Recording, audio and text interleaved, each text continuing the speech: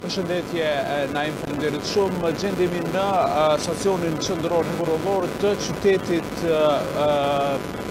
Shemzën, i cili është 20 km larg kufirit që e ndan Ukrainën me Poloninë. Kjo është pika ku në këtë stacion hekurudhor së paku dy herë në ditë Ka trena që vijnë nga qyteti ukrainas i madh dhe i rëndësishëm i Lvivit, që gjendet 60 kilometra në brendësi të Ukrainës. Ka forca të shtuara të policisë absolutisht për të pritur refugjatët, të cilët vendosen në këtë stacion hekurudhor fillimisht dhe në fakt qëndrojnë këtu për disa orë derisa të vendosen në ambiente të tjera. Ka një solidarizim, kemi në fakt Naim vetëm 20 minuta që kemi mbërritur rruga nga Varshava, kryeqyteti i Polonisë deri tek ky qytet në afërsi të pikës kufitare është shumë e lartë, është 450 km dhe këtu në fakt qëndrojnë edhe disa ditë.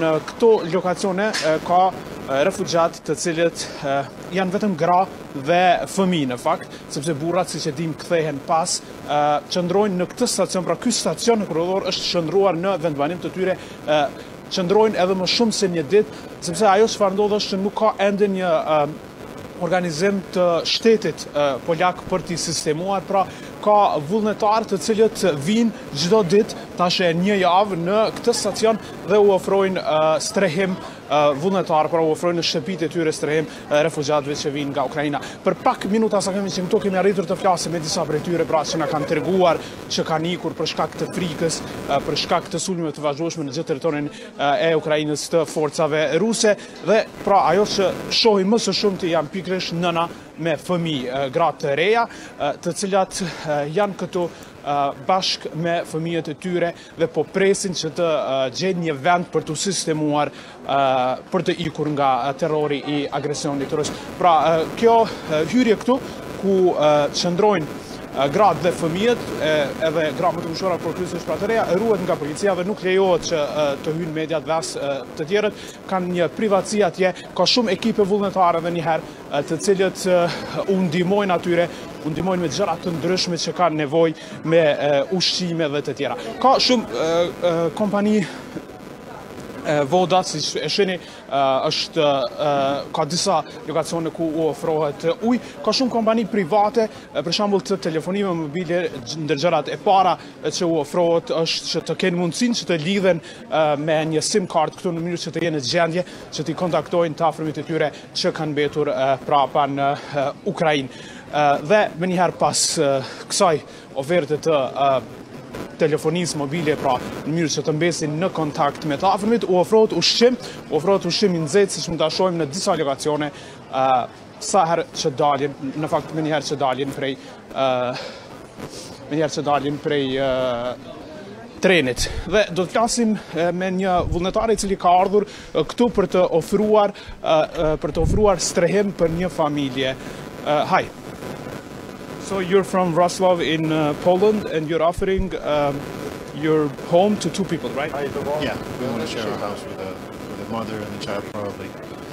Why why did you take this decision to offer this uh, your house to, to these refugees? Well, we got a spare room, and the situation is self-explanatory. So you know, people need places to go. We got the room. Uh, easy what do you think of all this happening? Does it make you sad to see these people having to flee their house? Yeah, totally. It makes me sad a lot. Um, we are very saddened by that, but uh, you know, we don't want to sit there and just be sad. We want to do something about it. So, so we decided to share our house. There's, there's like thousands of us like like me, and I think that's a normal thing to do. And and Poland, your country is is helping a lot, right? Not just here, but in other other cities. You're housing tens of thousands of, of Ukrainian refugees. Yeah, yeah, that's true. I, I, guess that makes you proud. Makes me proud, and it makes it's it's really moving. It's it's really like when you when you see on the internet all those all those groups of people 400 500 000 people making a group helping um, the Ukrainians. It really is really moving. Um, Do you hope this this will end soon? It's been a week now that the Russians are attacking uh, Ukrainian citizens. Well, you never know. Russia is a big country. They, they got a lot of soldiers. Uh, they're probably crazy enough to go on for some time. I hope it, it ends next minute. But, yeah. but Ukraine is fighting. Uh, is fighting back. Uh, they're not giving up. Uh, depending on how big Russia is, Ukrainians are still fighting. Well, Ukrainians are great people. They got a great president who's leading them, and uh, I'm, I'm, sure they they will survive.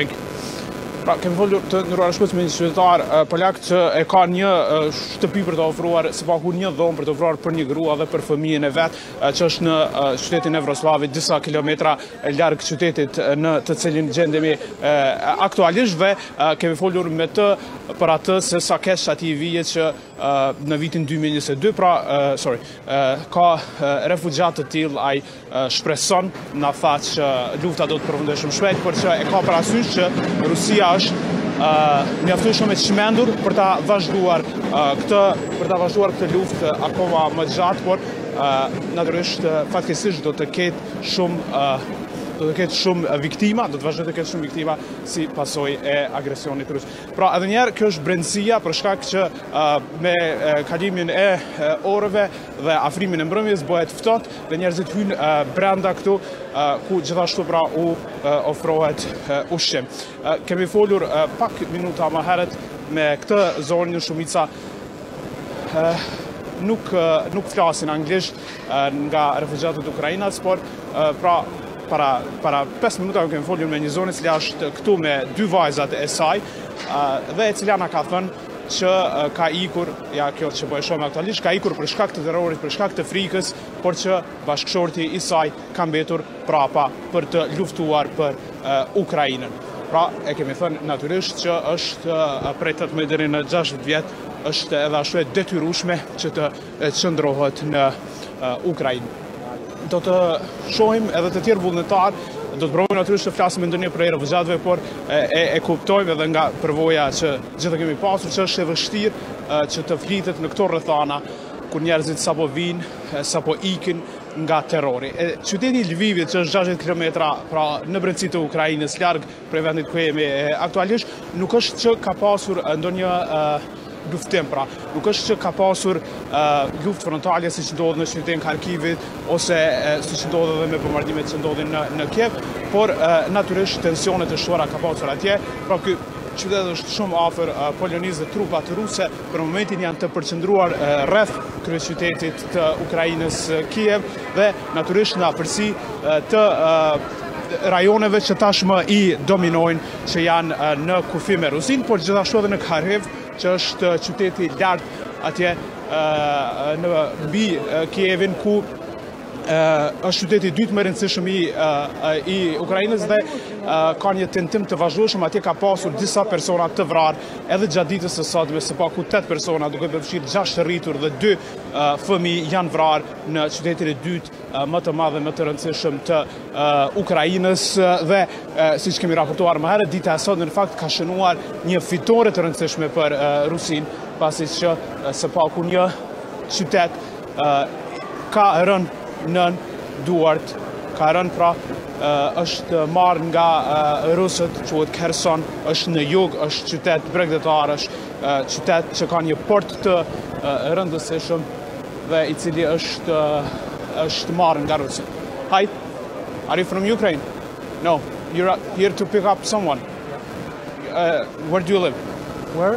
Where? In Poland. No, in uh, Deutschland. Yeah, Germany. In Germany, and you're here to pick someone to, yeah. to send to Germany. I see one uh, relation on Instagram, mm -hmm. one uh, woman, mm -hmm. and I. Uh,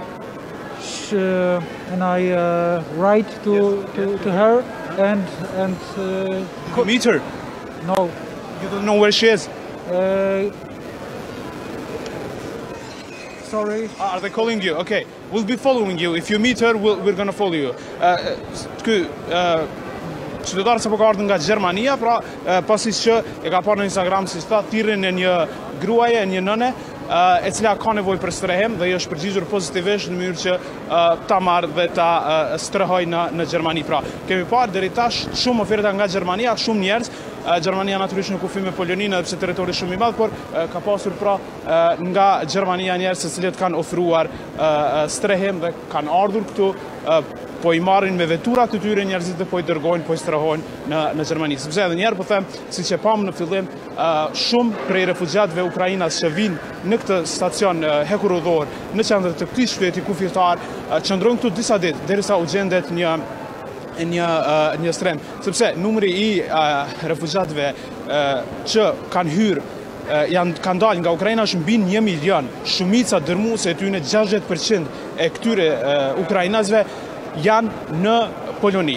Disa pika kufitare, por ajo ku do të shkojmë pak më vonë që quhet Medika është pika kryesore kufitare nga e cila hynë refugjatët dhe atje do të shohim nëse shteti i bart dhe i sistemon diku direkt, por shumica e tyre pra në fakt janë qytetarë të cilët në mënyrë vullnetare u ofrojnë strehim dhe janë shumica dërmuese natyrisht nga Polonia, por ka edhe nga shtetet e tjera, duke përfshirë pra Gjermaninë, Zvicrën dhe shtetet e tjera. Kjo është lista e trenave që vijnë dhe ka pra, siç e shohim aty, brenda ka qytete nga Ukraina. Lvivi, ende nga Kievi shkruan që ka nisje të trenave, aty situata është më e rënduar, pak më lehtë pra që të vihet nga Lvivi, por Nga Kievi është një situatë më e tensionuar dhe do të shohim nëse nga Odesa gjithashtu në brendësi të Ukrainës ka trena të cilët nisen për në për në këtë qytet në mënyrë që njerëzit të ikin nga terrori që po shohin. Duket kaos ndonjëherë nga ajo çfarë kemi parë, por ideja është në fakt që secili dëshiron që të ndihmojë në një formë apo në një tjetër, pasi që ka vullnetarë të shumtë, është Kryqi i Kuq, ka pra organizata të ndryshme të cilat angazhohen aktivisht që secili në mënyrën e vet të japë ndihmën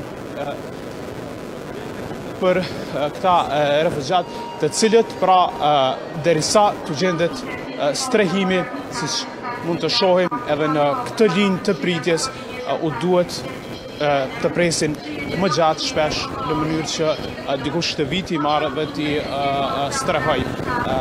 Do të shohim se si janë kushtet natën, pra natyrisht që është më ftohtë dhe është pak më e vështirë që të qëndrohet, por do të shohim nëse ndonjë prej tyre do të flasë anglisht, në mënyrë që të shohim Hi, sorry, you're coming from Ukraine. Ah, are you from Ukraine? You are from Ukraine.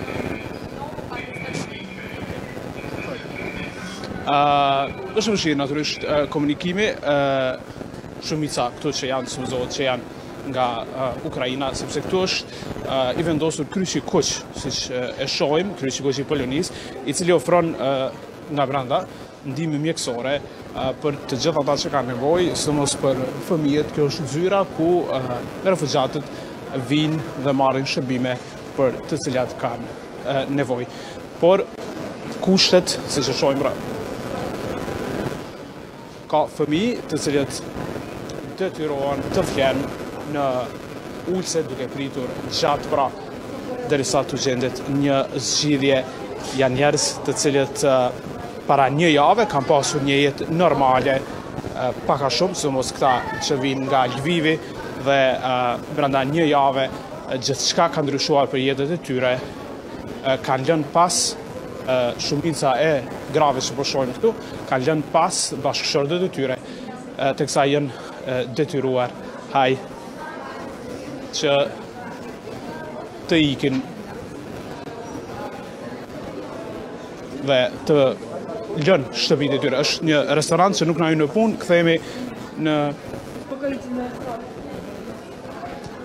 Këto janë janë gjërat që njerëzit kanë marrë me vete, pak prej tyre çkado që kanë mundur të kenë në dispozicion, sepse me kalimin e kohës qëndrimi i tyre në Ukrainë është bërë shumë më i vështirë. Ka, e kuptueshme, media nga gjithë bota, televizionet kryesore, botërore që e kanë në fokus këtë pikë kufitare, sepse kjo është, kjo është vendi pra ku më së shumti njerëzit vijnë dhe pastaj shpërndahen në pjesë të tjera, jo vetëm të Polonisë, por edhe në qytete të tjera.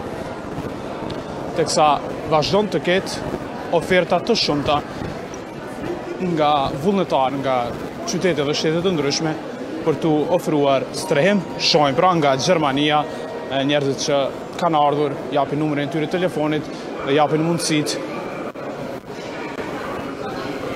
që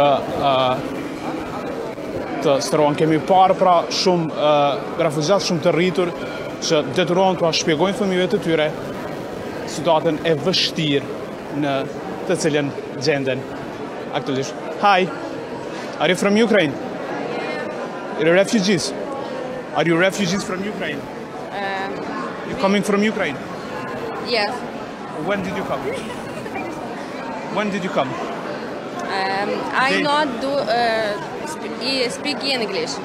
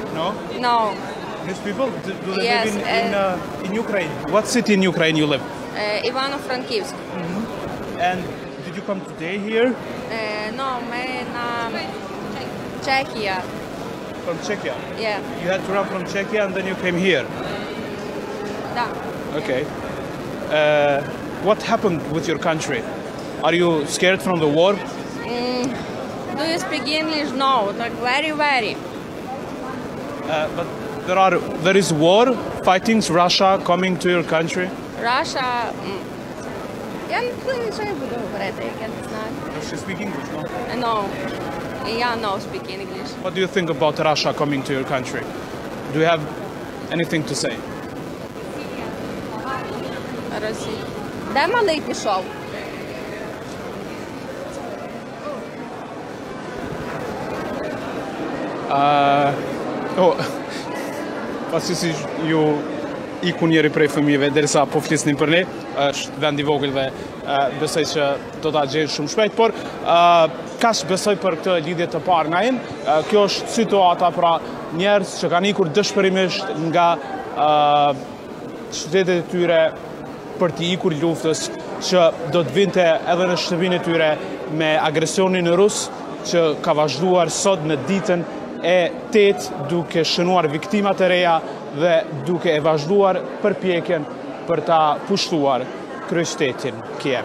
Naim Po gjejmë mbase jeni lidhur edhe edhe më herët, nëse do të vazhdoni të qëndroni aty apo jo, apo u largove nga kamera, mirë. Me siguri pra do ta keni një ditë të gjatë raportimi nga afërsia e kufirit ndërmjet ndërmjet Ukrainës dhe Polonisë së bashku me kameramanin Laurat Gashi, gjithashtu pra do të sjellni risi tek lajmet qendrore si edhe tek emisionet e mbrëmjes prime time dhe Politiko apo jo. Po, po, po, Naim, pra kjo është pika e parë ku u ndalëm, stacioni, sepse këtu vijnë, pra këtu vijnë njerëzit më së shumti në linjën direkte që vjen nga Lvivi, kurse ata që vijnë me vetura, pra shkojnë tek pika kufitare e Medikas, kështu quhet, që është 20 km larg prej këtu, dhe linja e veturave për të pritur atje është goxha e gjatë, Njerëzit vijnë pra me veturat e tyre presin nga 24 orë na është thënë, donjëherë nga 26 orë në mënyrë që të kalojnë në, në Poloni dhe pra bashkë me kameramani Laurat Gashi, pak më vonë për lajmet qendrore të orës 19.10, do të paraqitemi nga pika kufitare, pra që është pika e parë prej nga hyjnë refugjatët ukrainas në Poloni. Naim? Mirë Gëzim, faleminderit shumë për këtë lidhje të drejtpërdrejtë.